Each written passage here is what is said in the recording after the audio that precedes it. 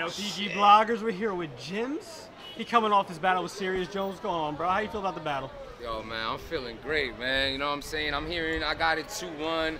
Babs is out here looking thick. Never knew she was that thick. It's a good day.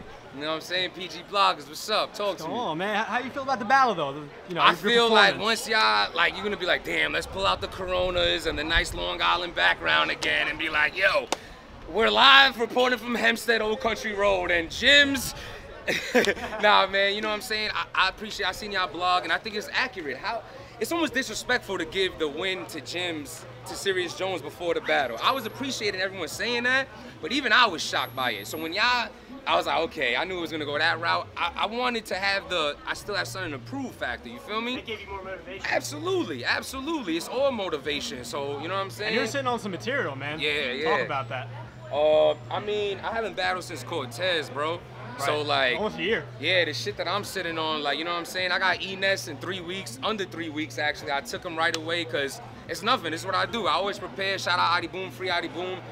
Me and him sparring, we always good at getting our shit ready early. You feel me? Right. How, how you feel feel about. Serius uh, performance? I feel like his first round was stupid.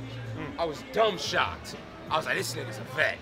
This, this this is when this is what this is what shows like, you know what I'm saying? This is what he does. I was very surprised at that first round. I expected him to be the uh the dirty, drawn out schemes, but you know what I mean? That first round was was definitely a sick round.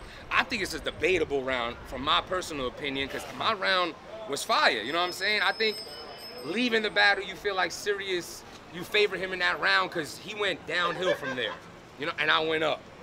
So it was like, you know, that kind of stands out because it was his best. Right. You feel like your standout round was your second or third then? Yeah, second second round definitely. I think that was the most clear battle, uh, round of the battle. Round one could be debated. Round three, he was stumbling, choking all over the place. You know what I'm saying? I had him uh, fall into the swear to God shit. I called him, got him. You know what Yeah, I mean? talk about that third round, man. You came with the personals. Yeah, yeah, yeah. I had to take a different angle on them. You know what I'm saying? People thought I was gonna come here and just talk about math all day. It's crazy. Nobody, it, like Jay Black says, like I don't mind you saying it because it did happen, but you got to do it a different way. And the way I did it, Creative. son. You know what I mean? I definitely did a different. You know, the third round though, the pimp shit.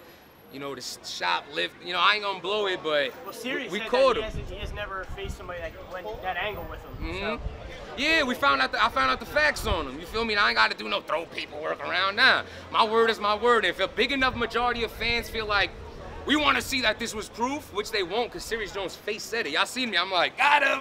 You know. But uh, if they wanted to see it, I got it. I kid you right. I, I, I kid you not, man. Papers is my call, man. It's just real shit. Serius Jones thanked me for not showing it because I had his real last name on it. He ain't denying it. He knows it's the truth.